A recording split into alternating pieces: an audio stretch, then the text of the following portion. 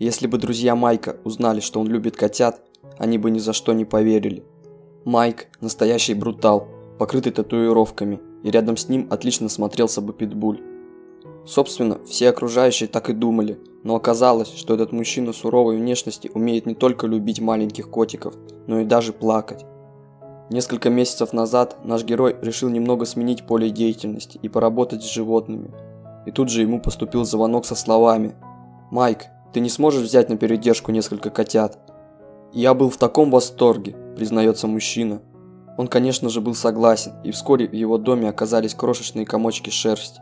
Четыре пищащих малютки ползали по его рукам, просили кушать и смотрели выразительными глазенками.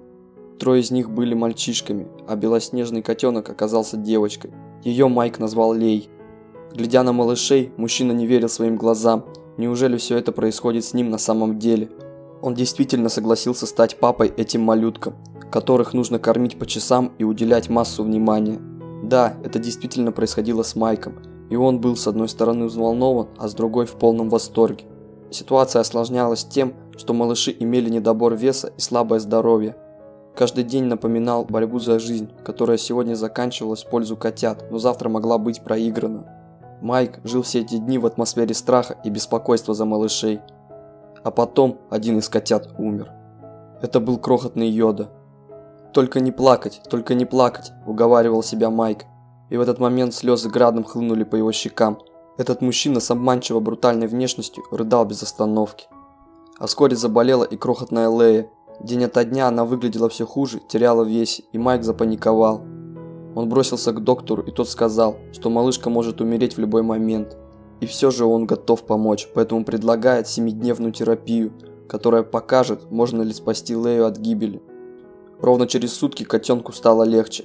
Это было удивительно, малышка словно ожила. Она бегала, прыгала, играла с братишками и явно выглядела получше. Доктору удалось спасти ее. Оставшиеся недели, которые котята провели у Майка, прошли спокойно. Малютки подрастали и набирали вес, и у мужчины подступал ком к горлу. Он успел привязаться к ним, но должен был вернуть котишек в приют. «Я старался удержаться, чтобы не расплакаться», признается Майк, но это оказалось очень сложно. Расставание было печальным и болезненным. Мужчина признается, что не жалеет ни секунды о том, что согласился взять крошечных котят в свой дом и теперь надеется, что им встретятся хозяева, которые будут любить их, словно родных детей. Кстати, он добавил, что еще не раз возьмет котят на передержку.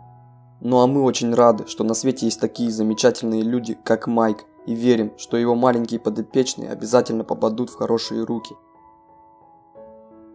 Если вам понравилось это видео, ставьте лайк и подписывайтесь на мой канал.